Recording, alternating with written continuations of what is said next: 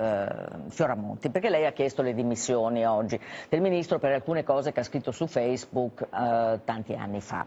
E, um, Fioramonti in serata ha chiesto scusa, anche alla diretta interessata, una di queste era l'onorevole Santanché, e ha detto che non si può essere penalizzati per una cosa che si è scritto quando si era giovani, eccetera, eccetera. Quindi lei accetta queste scuse o chiede ancora le sue dimissioni? Guardi, io non devo accettare le scuse perché la questione non è una questione di forma, la questione è una questione di sostanza. La domanda è, una persona che pensa e scrive che tra le forze dell'ordine sono pochi i poliziotti per bene, che quando si spara contro un carabiniere mi meraviglio che si sia sparato solo contro uno, che scrive cose volgari e sessiste verso una donna impegnata in politica e voglio dirglielo, Lilly Gruber, mi dispiace davvero di non aver sentito un esponente degli altri partiti, dei partiti della maggioranza, ritenere di dover dare la solidarietà a Daniela Santanchè, perché io sono stata la prima a dare la solidarietà al ministro Bellanova quando qualcuno si è permesso di dire che il suo vestito poteva essere diciamo un po' così vistoso e si è mosso tutto il mainstream, ma se dice a una, a una donna di destra che bisogna sputarla in faccia, nessuno ritiene di dire mezza parola.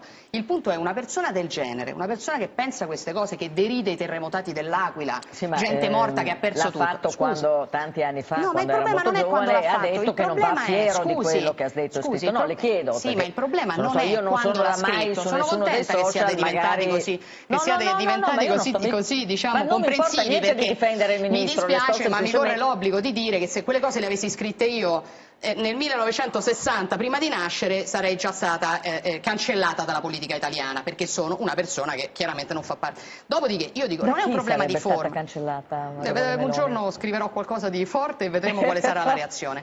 Dopodiché, il problema non è un problema di forma, il problema non è se lo hai scritto dieci anni fa, il problema è che lo pensi. Una persona che pensa cose del genere Secondo lei è, eh, di, diciamo, eh, eh è all'altezza di rappresentare l'Italia? Io penso che una persona così non sia all'altezza di rappresentare l'Italia, a maggior ragione che non sia all'altezza di fare il ministro dell'istruzione, cioè quello che ci deve spiegare come educhiamo i nostri figli. E quindi sì, ritengo che il ministro Fioramonti si debba dimettere e pretendo una parola chiara su questo da Giuseppe Conte, che ha passato l'ultimo mese e mezzo a spiegarci che cos'è il rispetto per le istituzioni. Se ha rispetto per le istituzioni ce lo mm. dimostri, facendo dimettere un ministro palesemente indegno di fare il ministro.